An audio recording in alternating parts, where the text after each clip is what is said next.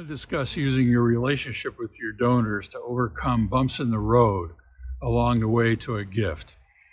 I worked with the Juvenile Diabetes Research Foundation and cultivated a strong relationship with a relatively young man who has diabetes, but also has strong relationships with great wealth overseas. And we wanted this fellow, his name Mike, to both contribute to the campaign that we were working with, as well as to bring in his client from overseas to support the campaign.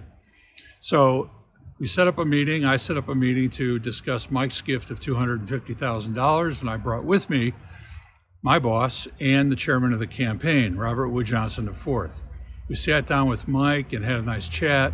And when it came time to talking to Mike, he had to decline the request to our surprise. He shared that things had changed in the last week and he was not certain about his future uh, with, with this particular client. We thanked him very much. We understood. We left. I felt terrible about it, both from a professional point of view and for Mike.